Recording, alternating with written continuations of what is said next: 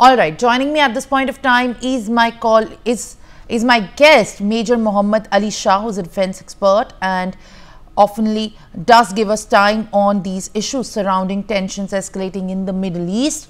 Very good morning to you, Major Muhammad Ali Shah. And at this given point of time, it is important to understand, you know, the role of Hezbollah being powered uh, by intense weaponry and at this given point of time, you know, from 1971 to this time, how its existence has now been at the forefront of threatening the millions of lives of civilians that are still presently trying to uh, battle the survival in Israel and in the southern Lebanon.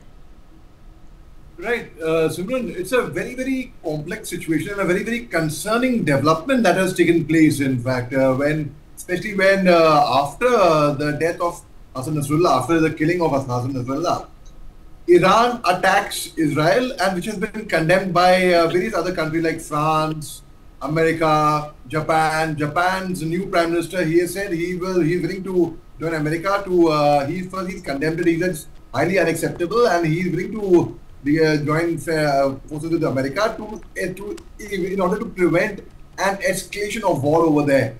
So this is actually 180 uh, ballistic missiles, 180 ballistic missiles. Most of them are intercepted, uh, intercepted with the help of America and the Iron Dome system that the technology that Israel's got. And uh, their rear admiral, their spokesperson, had, uh, Davis, he had mentioned that there's, there's been no casualty in uh, Israel as yet.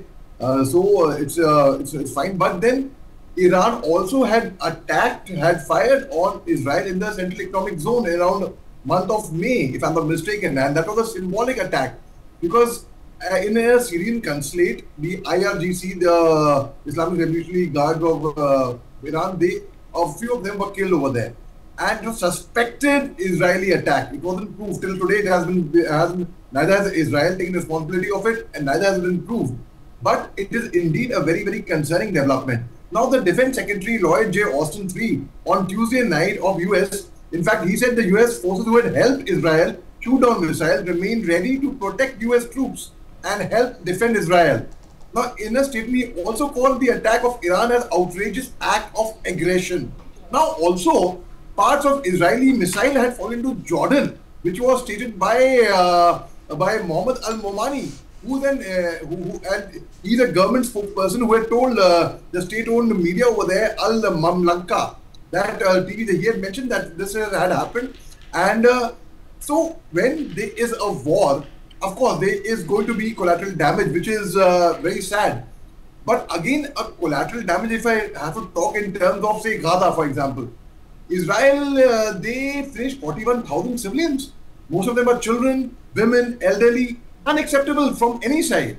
Now, Iran has attacked Israel now, the very fact is, how do we end this uh, conflict? There's no end. God forbid, I mean, it, I feel, it pains me no end.